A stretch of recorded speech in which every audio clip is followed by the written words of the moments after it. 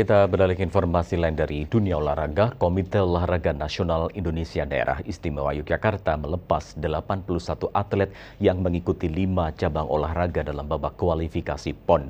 KONI DIY meminta seluruh atlet fokus untuk lolos pada babak ini agar kesempatan meraih medali pada PON 2024 lebih besar. Kloter pertama Komite Olahraga Nasional Indonesia Daerah Istimewa Yogyakarta yang mengikuti babak kualifikasi PON 2024 berjumlah 103 orang dari tiga induk cabang olahraga, yakni renang, atletik, dan gateball.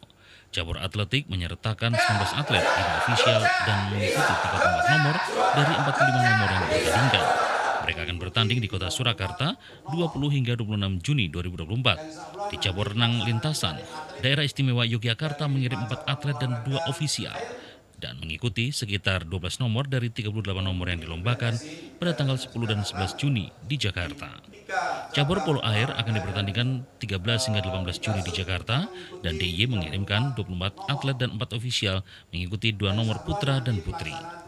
Untuk cabur renang, perairan terbuka berlokasi di Lamongan 25 hingga 26 Juni dan DIY menurunkan 6 atlet dari 6 nomor yang dipertandingkan.